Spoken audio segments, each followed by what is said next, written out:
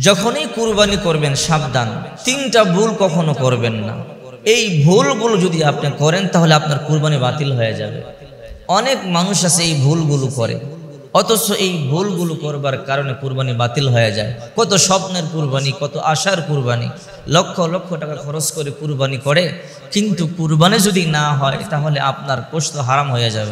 এই গোস্ত আপনি খেতে পারবেন না। এই জন্য যখন আপনি কুরবানি করবেন, এই তিনটা জিনিসের প্রতি অবশ্যই খেয়াল করবেন। কারণ আল্লাহর কাছে এই রক্ত গোস্ত পৌঁছে না। আল্লাহর কাছে পৌঁছায় শুধু তাকওয়া, অন্তরে জজবা। এই জন্যই তো আল্লাহ পাক বলেন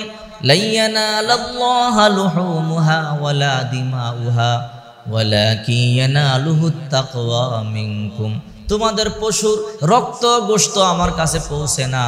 আমার কাছে পৌঁছে তোমাদের অন্তরের জজবা। অন্তরে কি আছে? ওইটা আসে আমার কাছে। এই জন্য অন্তর পরিষ্কার করতে হবে। তিনটা ভুল থেকে এক নম্বর ভুল হলো, আমরা অনেক সময় বলি, আমার বাবার আমার বাবার নামে কুরবানি, মায়ের নামে কুরবানি, আমার নামে কুরবানি। না, বাবার নামে কুরবানি হবে না, মার নামে কুরবানি হবে না। কুরবানি হবে একমাত্র আল্লাহর নামে। আমরা যখন পশু জবাই করব, একমাত্র আল্লাহর নামে পশু জবাই করব। তো বলতে পারেন, আমরা যে কুরবানি করি, এটা করব কি? এটা আমাদের পক্ষ থেকে। নিয়তটা এমনি করতে হবে। যদি একটা পশুতে আপনি সাত নাম দেন, একটা গরুতে, একটা বহিষে অথবা একটা ওটে, তখন আপনি নিয়ত করবেন যে আমার বাবা অমুকের পক্ষ থেকে, আমার মায়ের পক্ষ থেকে আল্লাহর নামে, আমার পক্ষ থেকে আল্লাহর নামে। পক্ষ থেকে হবে, কিন্তু নামে আল্লাহর হবে। অনেকে আমরা ডাইরেক্ট বলি, আমার বাবার নামে কুরবানি, আমার মায়ের নামে কুরবানি। এরকম বলে কুরবানি দিলে কুরবানি হবে না। কুরবানি দিতে হবে একমাত্র আল্লাহর নামে। আল্লাহর নাম ছাড়া অন্য কারও নামে কুরবানি দেওয়া সম্পূর্ণ হারাম।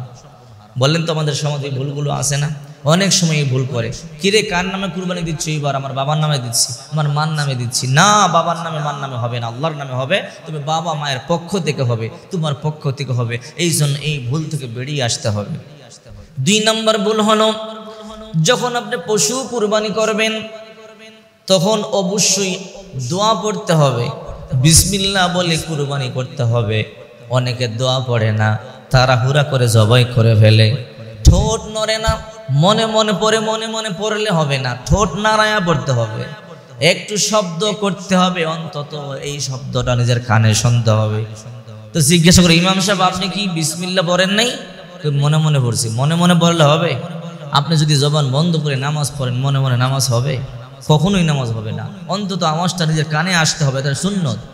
কুরবানি পশু যখন জবাই করবেন দোয়া পড়বেন ইন্নি ওয়াজ্জাহাতু ওয়াজহিয়া লিল্লাযী ফাতারাস সামাওয়াতি ওয়াল আরদ حنيفا وما أنا من المشركين إن صلاتي ونسكي ومحياي ومماتي لله رب العالمين لا شريك له وبذلك أمرت أنا أول المسلمين দোয়া পড়বেন।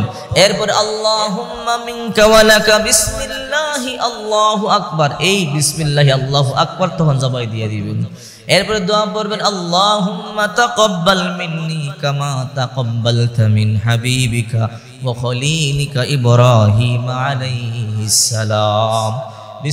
বলে জবাই দিতে হবে। এই বিসমিল্লাহ মনে মনে বললে হবে না। এই ভুলটা অনেকে করে।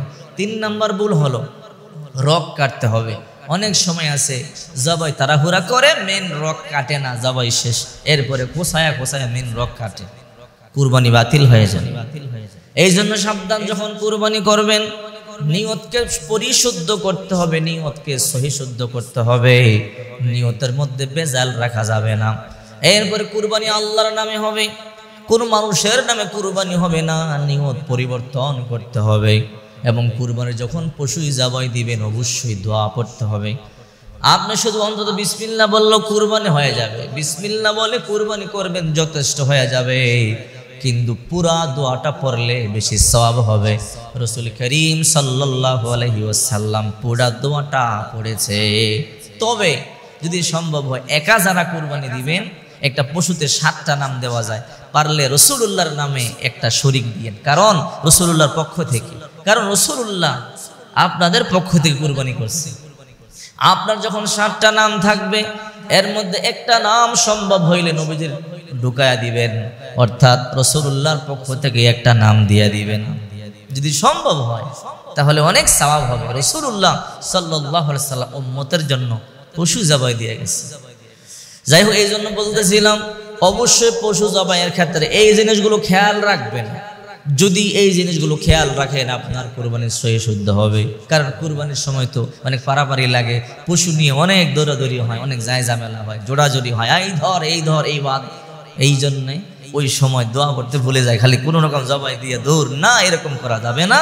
অবশ্যই কণ্ঠে আওয়াজ করে বিসমিল্লা পড়তে হবে। এতটুকুন আওয়াজ লাগবে যে আওয়াজটা আপনার কানে ফিসফিস শব্দ আসে। রহমানির রহিম। এতটুকুন আওয়াজ না আসলে এতটুকুন জুব্বা ঠোঁট না লড়লে তাহলে আপনার কুরবানি হবে না। এবার দেখেন কত মানুষের কুরবানি বাতিল হচ্ছে। মানুষের আশা, একটা ইবাদত, একটা কত স্বপ্ন, কল্পনা, লক্ষ লক্ষ টাকা খরচ করে কুরবানি দিতে হচ্ছে না। এই ভুলগুলো করবার কারণে, এই জন্য সাবধান, এই ভুলগুলো কখনোই করা যাবে না। এই ভুল থেকে বেরিয়ে আসতে